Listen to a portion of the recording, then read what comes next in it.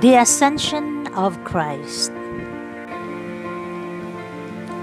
The Catechism teaches that Christ's ascension marks the definitive entrance of Jesus' humanity into God's heavenly domain. What does ascension of Christ mean?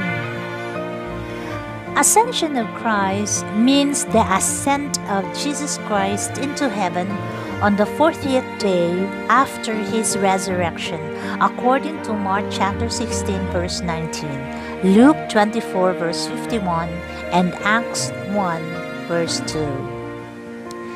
It refers to the physical departure of Jesus Christ from earth into heaven.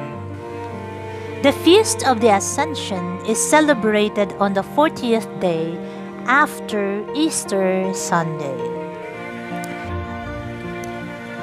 In the Eastern Church, this feast was known as Analepsis, which means the taking up, and also as Episozomene, which means the salvation. The ascension of Jesus Christ denotes that he completed the work of redemption. The Western Church used the term ascension or ascensa, signifying that Christ was raised up by his own powers. Tradition designates Mount Olivet near Bethany as the place where Christ left the earth.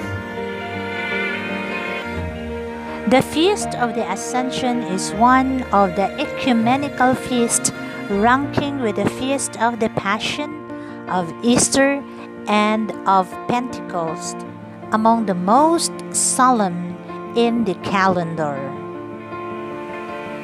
According to St. Augustine, the observance of this feast is of apostolic origin. It was an observance of the Church long before his time.